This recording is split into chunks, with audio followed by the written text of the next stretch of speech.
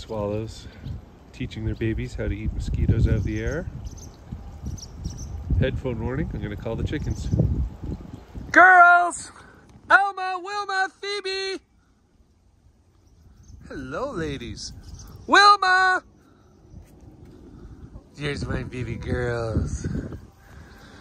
So this is watermelon bowl with cherries and strawberries and blueberries and cherry tops.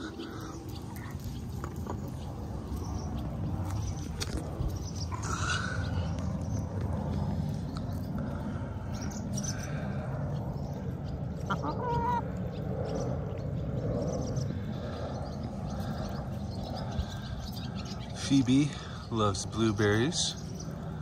Alma, who's on the left, her favorite is strawberries. And Wilma's just like, yeah, whatever.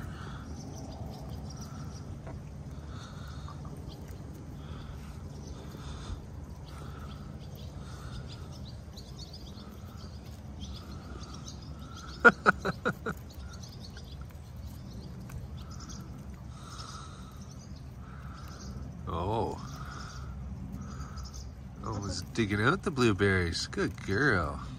So you know, Alma, Phoebe, Wilma.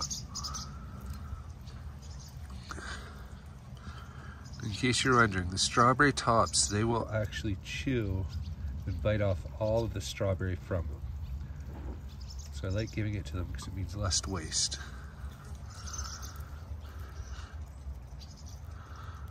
Probably notice Phoebe throwing the fruit around. Well, she always goes around and cleans up after too.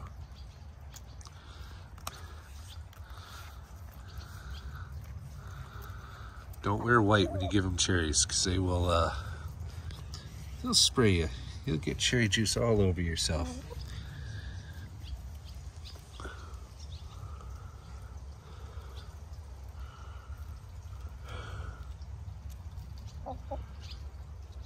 So when it first comes out, they go really hardcore. They eat a lot.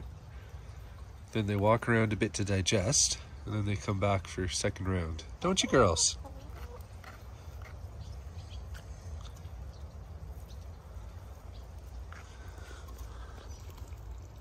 I love this, seeing all the swallows in the air. And then the chicken's so happy when I give them food. And then at the end, this watermelon rind will actually go to my goats. They love it. They love banana peels, watermelon rinds, cherry tops, sorry, strawberry chops, etc. Love you too, Alma. Good girl.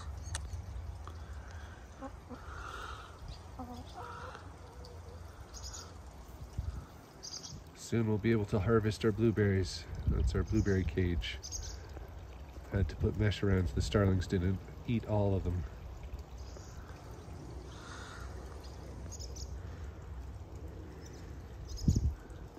Alright, I hope you liked the video.